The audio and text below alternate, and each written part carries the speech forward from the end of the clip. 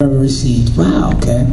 You know, I um, I've gotten some very very interesting fan mail over the years. Um, uh, one that sticks out in my mind is a, is a kid that was in uh, I forget where what part of the United States he lived in, but it was a, a, a place that was very rural, and and he said that he didn't have any uh, he didn't he didn't know much about any people that were people of color, any African Americans or, or anything like that, and, and he and his friends would all always get together after school and they would play Power Rangers, and everybody had picked a ranger, and he had to be me and he was not happy about that. He had to be the Black Ranger. He had to be Zack. He said, but once he started, um, once he started kind of getting into it, he started really paying attention to the episodes, and, and he noticed my character on the show. He thought that I was always an upstanding guy, and I was always like um, level-headed, and, and I was nice to everyone. And, and then he started appreciating the, the qualities of my character, and, and then he started discovering dance, and he started doing martial arts, and he, it changed his whole life. And all of a sudden, he, he started getting to know people of, of uh, African American descent, and and he said that it made a, a, huge difference in his life, and I that stuck out in my brain as like, wow, that really made a difference in somebody's life. So um, that was very cool. That was that was a very cool fan mail I got. Yes. Um, like, was all the funny poses was that all Japanese film, or did you get to do any of the crazy, you know, like? the poses like in the suits. Yeah. Uh, most of that was the Japanese stuff. Um, it's definitely very stylized. So, um, uh, which which they had they had down to a, to a science because they'd done it so many years over there. Um, the American footage, like the only bummer is that we didn't get to see me do much fighting. I, I had a lot of fun doing the fighting, fighting the putties and stuff. Um, our martial arts, our martial arts outside of the suits was definitely different. Like Hapkido, you never saw the Black Ranger doing Hapkido. He always jumped into straight, you know, fighting, straight martial arts. Um, any other questions? You. Yes. Did you guys always have to wear your color when you were in just like school and stuff? Yes. Yes, it always represented. We always represented by whatever color we were. We wore, which never gave a, anybody a clue, right? It's like, it's like, hey, you know, there's a pink ranger, black ranger, yellow ranger, blue ranger, and those guys always wear those colors. Hmm. Ah, forget it. It's just crazy. They're fans, you know. Um, any other questions? Yes, in the back. Any crazy accidents? Uh, yeah, we there were a few things that happened that were unfortunate. There was one episode where we were fighting, um, we were fighting some of the putties, and this actually happened to me. Uh, one of the stuntmen is in a putty suit, and, uh, and we're going through our, our, fights. And a lot of times we didn't have a lot of time to put everything together. So it was like, okay, we got to hurry up and, and knock this out. You know, we're either losing the sunlight or we got to hurry up and go from here to there. And uh, and working with five people as a stunt coordinator, um, I did a lot of my own, my own stunts, and eventually I, I choreographed my own my own fights. But um, there was one point where we were working with a stuntman, and I had to do something and give him a, a blow to the stomach uh, as a putty, and he was supposed to react. I was blow to the stomach, a blow to the head, and I did the stomach, and I did the head, and he reacted to the stomach so hard that I broke his nose. and he was, and and the, the crazy thing about it was. He was there on the phone. Thank you, thank you very much.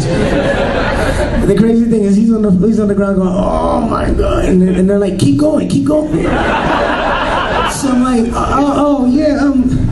All right, so anyway, um, I think I heard him. Um, and then they finally they were like, cut. And I was like, okay. I was like, are you okay? And took the hood off, and his nose was all bloody. And I was like, dude, I'm so sorry. I felt horrible. But it was it wasn't just my fault. It was like combination of things. He took the reaction super big, so his face was going towards my hand. we connected. not good. Um, otherwise, uh, there were not that many accidents uh, on the set that I can recall. Um, we were always generally pretty safe, and as as time went on, like I said, we used to do a lot of face hits in the beginning. It was like, uh, you know, a lot of kicks to the head and, and, punches to the head, and eventually we changed that. It was only uh, below the shoulders. Any other questions? Yes. Um, well, two. The first one is, uh, I believe on what you're saying, is that why they added the uh, Z to their chest so that you have a set up target before? no, that's that's not the reason why they, they added the Z to the putty's chest so we have a better target. Um, it was actually because in the in the show, in the Japanese show, the putties metamorphosed into something different. So then they had the Z costumes. So that's just the way it worked out. Yes. One of the strangest things that's ever happened on set. Mm, well, strangest. Hmm. I had an episode. Uh, this is maybe strange to me. Uh, well, oh, oh sorry. Um, I'll tell you this. We had a big earthquake in 93, I think 90, 93, a big, huge earthquake in Los Angeles. And, uh, and that morning, the, the, the earthquake happened early in the morning, like 6 o'clock in the morning.